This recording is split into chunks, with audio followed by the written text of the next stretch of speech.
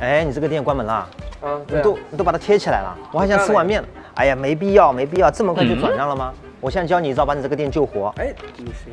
如果没有用，你觉得没有用，我直接转下这个店。哦，那你说，转让费多少钱？我五万块钱，这么便宜啊？那行，没问题啊。你看啊，我们要先解决流量的问题，对吗？你现在用我的第一招，嗯第一招就是搞流量的。你在这里打个广告，你说，哎，这个附近小区三公里的小区，凭广州的居住证或者广州的身份证都可以来免费吃一碗面。免费吃，对，那我还做不做生意？你反正就关门了。我跟你说，置地死地而后生，免费吃吃的不是一大碗面，是一小碗面，午餐面，成本大概不能超过五毛钱的那种，理解了吗？或者不能超过一块钱。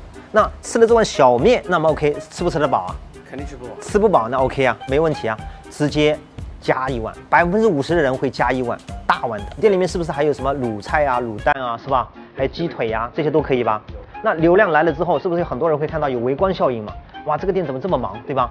还真是。如果你实在忙不过来，你就每天限十碗就行了，早来早早吃，这个叫做营销还是要做的呀？营销动作，事件营销，明白吗？明白。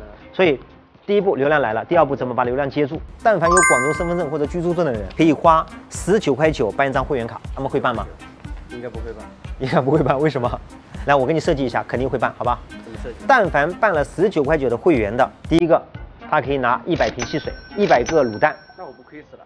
那你这样想就，我跟你讲，你就是差价逻辑，你要模式逻辑。一百瓶汽水跟一百个卤蛋，它是怎么样的？不是一次性给他的，它是分天给他的。每次来只能喝一瓶汽水跟一个卤蛋，并且要有低消十块钱才能拿，明白吗？那会不会有人办啊？这个会。这个会是吧？这个会。那 OK 了，留客是不是留下来了？是。那我们解解决留客的问题，留客留下来之后，你要解决利润的问题啊，利润从哪里来啊？你看他不可能过来 吃碗面，搞个卤蛋，你店里面就这个产品吗？不会，还有很多啊。还有什么炒菜是吧？你还有包厢的呀，我记得。有。哦，对吧？我还吃过呢。这些都是利润品，刚才那个叫流量品，嗯一定要有流量品，而且一定不能赚钱，嗯。明白吗？甚至要亏钱也要，否则的话大家都一样，为什么要来你店里面？所以你才会转让嘛，对吧？还有一招叫裂变，比如说，嗯，来你这里的人一定是有群主的，群主爸爸、群主阿姨，小区的群主肯定是有吧？有有有。你告诉这个群主，你说但凡在你这个群里面卖掉了十九块九的会员，嗯我全部给你，卖一张你就拿十九块九走，我来服务。这一招就很更厉害了，全部都是人，明白吗？这个高。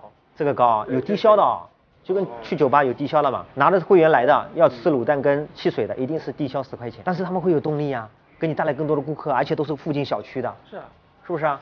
所以啊，你这个引流啊解决了，留客啊解决了，复购也解决了，嗯是吧？裂变也解决了，你说你还是吧？不关了，不关了，不关了。